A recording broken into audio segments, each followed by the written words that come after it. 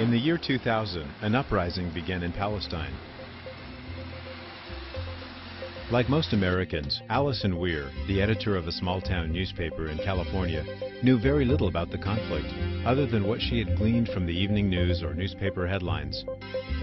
Neither a Muslim nor a Jew, she nevertheless became more curious about the topic of the Palestinian uprising.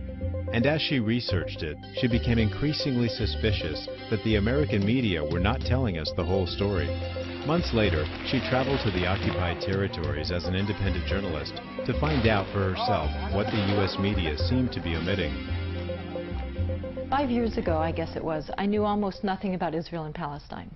I skimmed the headlines on the topic, I accepted the confusion of what I read, and like most people, I just moved on. At that time, I was the editor of a very small newspaper in Northern California, in Sausalito. I was writing about the local school district, the city council, the local fishing fleet, the Middle East seemed distant and really irrelevant to my daily life. But then finally, when this current uprising began, about five years ago, and I began to see on television those scenes of children throwing stones against tanks, I finally, at this pretty late stage of my life, grew curious and wondered what this was all about. I decided to finally pay attention and try to just understand the Israeli-Palestinian conflict.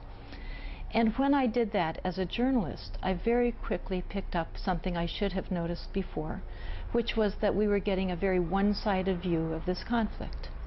I began to look into it more seriously. I began to pay more attention to the news reports, to read them all the way through, to listen to NPR uh, very carefully. And as I did that, I realized more and more that this was appearing to be the most distorted issue I think I had ever come across. I finally decided I needed to go and see for myself. And so began the most unusual trip that I've ever undertaken. During my month of traveling through the Palestinian territories, I had found a population under siege. Throughout Gaza and the West Bank, people were being kept virtually in prison.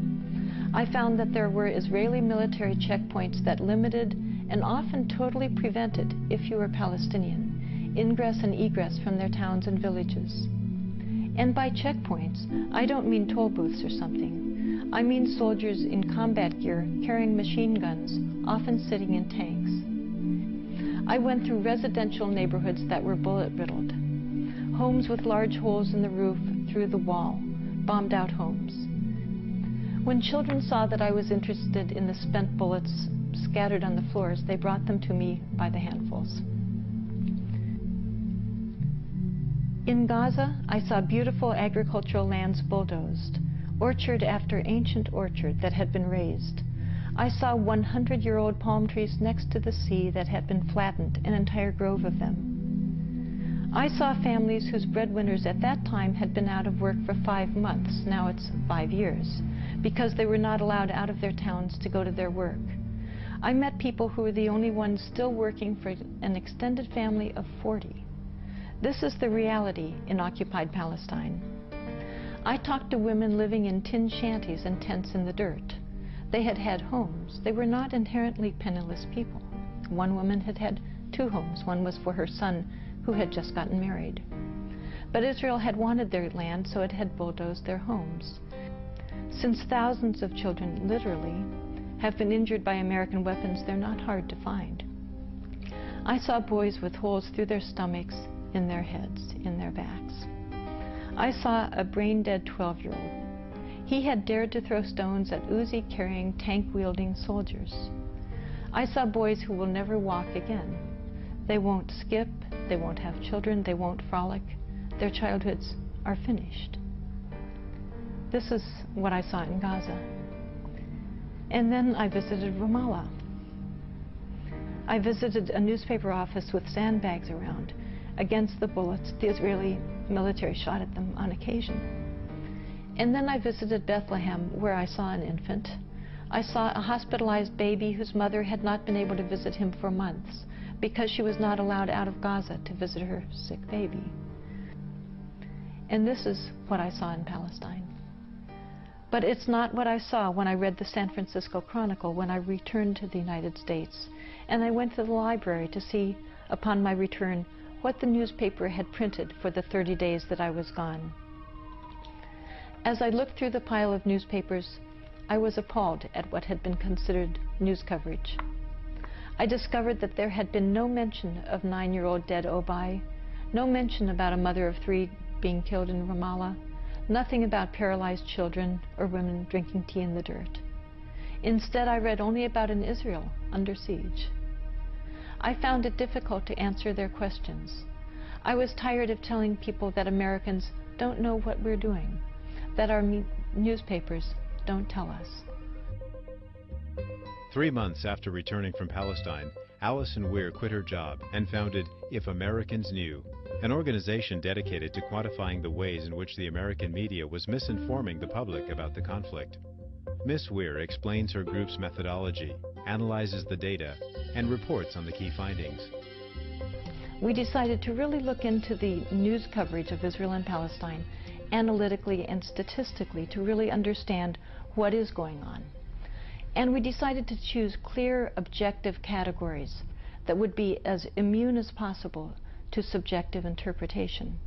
And we decided to look at how deaths were being covered by our media. Now the important thing is that we looked at how deaths were being covered among both populations, Israelis and Palestinians. It's my view, and I'm sure yours, that they're all human beings, that all human beings' deaths are equally tragic and, quite newsworthy. We looked at the first year because that's such a significant period. First impressions are so powerful. They lead us all to conclude about who initiated the violence, who is retaliating, who is the victim, who is the aggressor. It's very significant.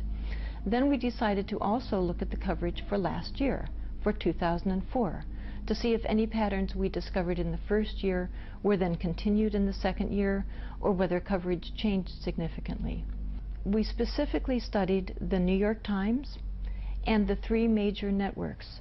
We looked at ABC, CBS, and NBC, their evening primetime news shows. Now, to do this study, the first job was a very sad job to discover how many people had been killed during those two years, how many Israelis and how many Palestinians. And to learn that fact, we went to an Israeli human rights organization, B'Tselem, which is very respected and quite careful in its gathering of data. It gathers information for both Israelis and Palestinians. So in looking into how many people had been killed in that first year, we discovered that 165 Israelis had tragically been killed by Palestinians and that 549 Palestinians had tragically been killed by Israelis. In 2004, what you discover is that 107 Israelis had been killed, which was a reduction. It was about 30% less than the first year. So they had experienced a calmer period of time. For the Palestinian population, however, you discover that the amount of death had greatly increased, that 821 Palestinians had been killed during that period. Uh, that they were, therefore, Palestinians were being killed last year by a rate of 8 to 1 over Israeli deaths. Now, keeping those numbers in line, we then looked at what the New York Times had reported and what these major networks had reported. For example, we found that ABC had covered Israeli deaths at a rate 3.1 times greater than Palestinian deaths. We discovered that CBS had covered Israeli deaths at a rate almost four times greater, 3.8 to 1. We discovered that NBC covered Israeli deaths at a rate four times greater than Palestinian deaths. In other words, for just to take one example, uh, CBS